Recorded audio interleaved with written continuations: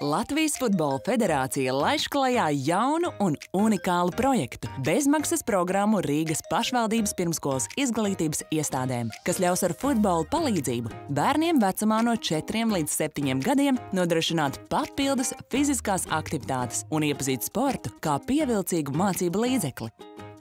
Kā tas notiek? Vienkārši viss, kas tev jādara, Piesaki sev bērndārs Futbola federācijas mājaslapā LFF.LV un gaidi mūsu zvanu.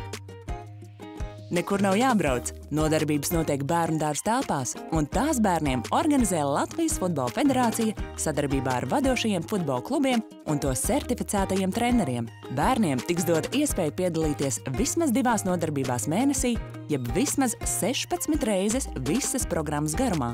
Tāpat bērnu dārzam nebūs nepieciešams neko papildus iegādāties.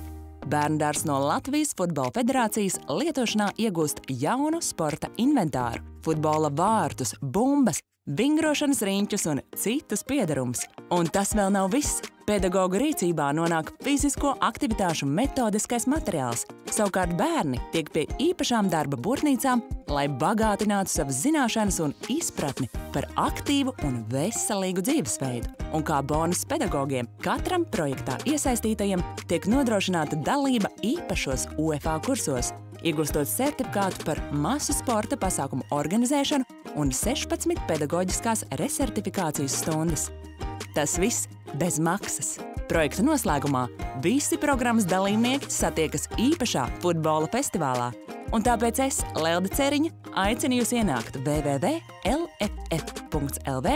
un pieteikt savu bērnu dārzu jau tagad. Kopā ar bumbu no pirmajiem soļiem.